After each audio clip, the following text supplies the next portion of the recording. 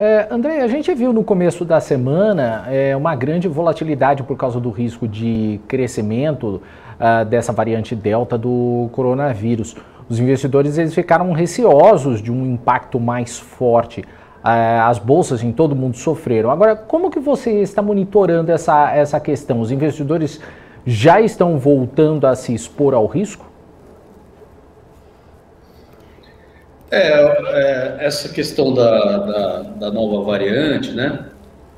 Ela, ela é um pouco diferente da, das anteriores, porque ela já está pegando a população mundial já bastante vacinada, né? Principalmente nos países desenvolvidos, que é onde ela está aparecendo é, de forma mais forte, né? A gente viu o que alarmou um pouco os mercados foi a alta forte de casos que está vendo é, na, no Reino Unido, Espanha também. É, né, um pouco na Rússia. Né? Então, são poucos países. O Reino Unido, a gente viu aí, teve uma, uma reabertura muito agressiva, né?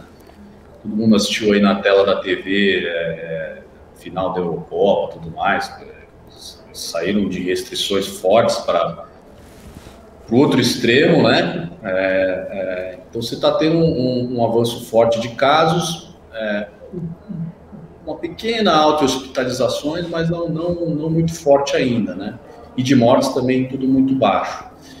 Eu acho que é algo a ser monitorado, é, é, mas tem essa questão da, da vacinação avançada que, que, limita um pouco os riscos disso. Eu acho que o, os mercados eles estão assim, preocupados com um, um, algo um pouco mais amplo, né, do que isso. Você, você teve alguns dados que vieram um pouco abaixo do que o mercado esperava atividade econômica né, nos, Estados Unidos recentemente, você teve o PIB na China um pouco abaixo do esperado, como o mercado vinha com o pé muito forte nesse chamado é, reflation trade, né, as commodities muito fortes, é, você tinha é, posicionamentos bem agressivos de boa parte do mercado nesses ativos de reflation, curva de juros americana, commodities e tudo mais, e quando você vê um posicionamento muito forte numa direção e vem alguns dados que decepcionam, a, a pessoa começa a olhar um pouco para trás, olhar para a porta de saída, ver que talvez é pequena, e aí ele começa a ficar mais preocupado com a porta de saída a,